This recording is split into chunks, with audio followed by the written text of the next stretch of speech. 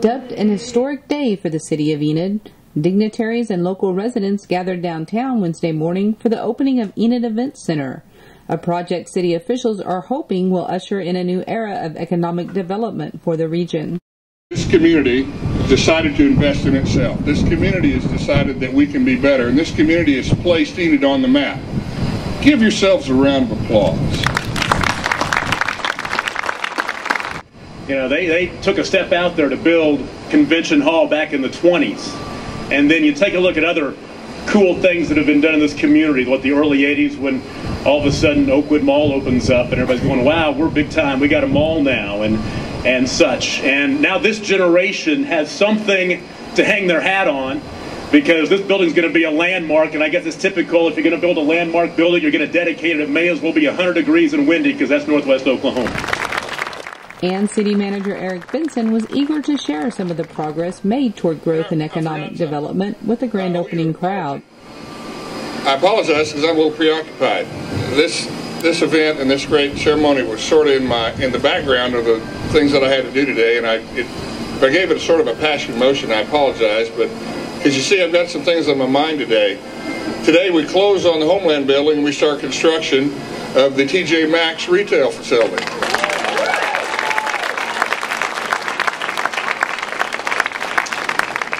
And yesterday we met with the financiers of the uh, the reconstruction of the Oakwood Mall, and uh, they committed to uh, continuing the, the strategy that we placed uh, as one of our more critical ec- economic development opportunities.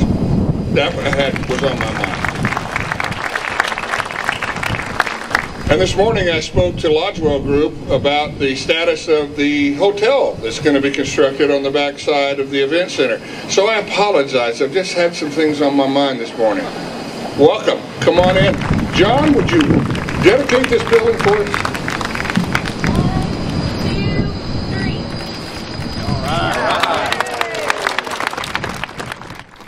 There were popcorn and drinks and a taste of the entertainment planned for the building. Cirque Musica, which features acrobatic displays set to classical music, will open on June 27th. A business expo starts things off this weekend in the event center's first public showing. A Gary Allan concert is set June 23rd.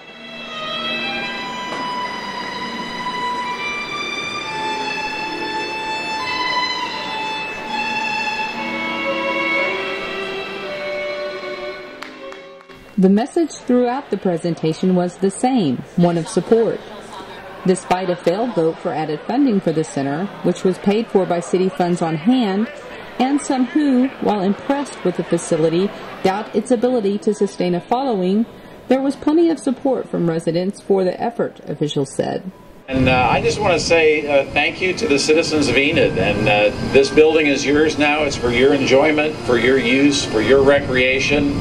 And I hope uh, that you will notice a significant uptick in the quality of life here in Enid as you get the opportunity to use this building and enjoy it in the years to come. And, and you know, one thing I want to just say about the design uh, is that you can see on these uh, entry towers a lot of Art Deco detailing, and that is very intentional. It's intended to relate to downtown Enid, and I hope that you feel, as I do, that this building uh, relates to and is a part of the downtown and feels comfortable here sitting next to our beloved convention hall. And uh, I hope that as the years go by that you just become accustomed to feeling like this building is part of your downtown because that was what it's intended to be. So again, thank you for your trust and for this opportunity and enjoy your new building.